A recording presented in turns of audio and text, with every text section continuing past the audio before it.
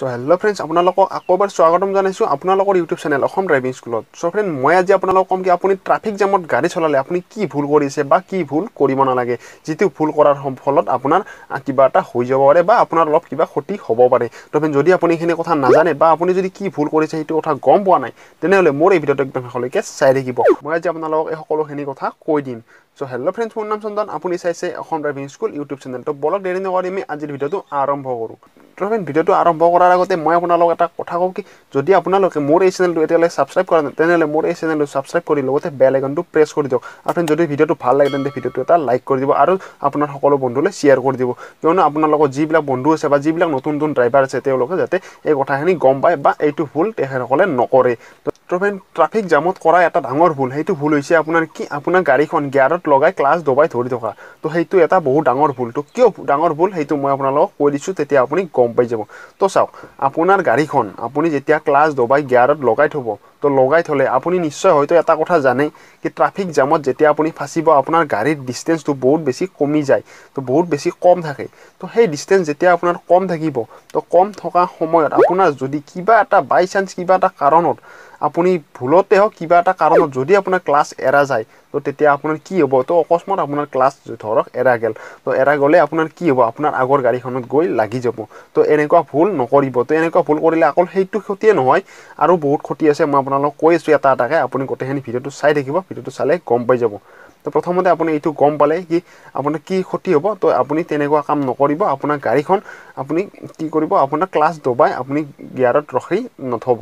তো তেনেকুৱা কৰিলে আপোনাৰ যদি আগৰ গাড়ীখনত কেতিয়াবা লাগি যায় বা অকস্মাত যদি আপোনাৰ ক্লাছ এৰা যায় তো তেতিয়া আপোনাৰ বহুত ক্ষতি হৈ যাব পাৰে।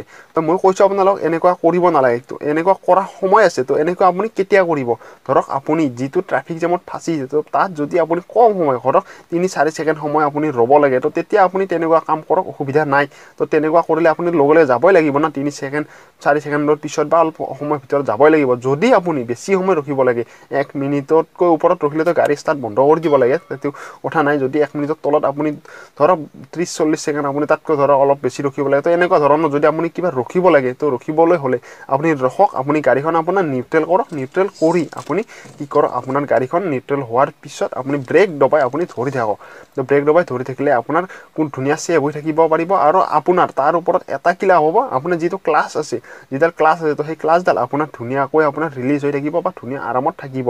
আপুনি ক্লাছ দবাই যেতিয়া ধৰি থাকিব গিয়াৰত লগাই তো আপোনাৰ গিয়াৰতো জোৰ পৰি থাকিব। লগত আপোনাৰ যিটো ক্লাছৰ যিডাল স্প্ৰিং আছে যিটো ক্লাছৰ মুভমেণ্ট আছে তো সেইটো আপোনাৰ বেয়া হৈ যাব অতি সোনকাল বা অতি তাৰ ওপৰত বহু বেছি প্ৰেছাৰ পৰি থাকিব। তো তেনেকুৱা কাম নকৰিব তো তেনেকুৱা কৰিলে আপোনাৰ এনেকুৱা ধৰণৰ কিবা বিপদ হৈ যাব পাৰে তো বা আপোনাৰ গাড়ীখনৰ ক্লাছ দি অতি সোনকাল বেয়া হৈ যাব পাৰে আপোনাৰ ক্লাছডাল আপোনাৰ অতি সোনকাল বেয়া হৈ যাব পাৰে। তো সেইকাৰণে এইবিলাক ভুল নকৰিব। তো তেনেকুৱা কৰাৰ ফলত আপোনাৰ এইখিনি ক্ষতি হ'ব। তাৰ উপৰি আপুনি গাড়ীখন নিউট্ৰেল কৰক নিউট্ৰেল কৰি আপুনি ব্ৰেক দবাই ধৰি ৰাখক।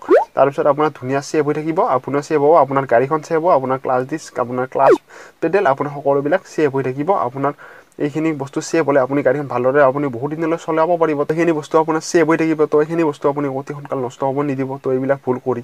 তো বাছ আজিলৈ ইমানেই লগ পাম বন্ধু এটা নেক্সট ভিডিঅ'ত যদি ভিডিঅ'টো ভাল লাগিছে তেন্তে ভিডিঅ'টো এটা লাইক কৰি দিব আৰু মোৰ চেনেলটোত আপুনি যদি নতুনকৈ আহিছে তেনেহ'লে মোৰ চেনেলটো ছাবস্ক্ৰাইব কৰি লগতে বেল আইকনটো প্ৰেছ কৰি দিব। কিয়নো মই আপোনালোকলৈ এনেকুৱা ধৰণৰ ভিডিঅ' লৈ আহি থাকিম। তো বাছ আজিলৈ ইমানেই লগ পাম বন্ধু এটা নেক্সট ভিডিঅ'ত